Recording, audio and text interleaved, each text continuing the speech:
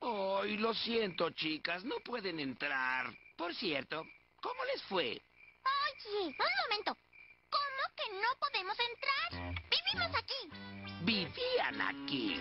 La renta se venció hace un día y ustedes no pagaron. Lugar más delicioso del mundo. ¿Puedo acostumbrarme a trabajar aquí?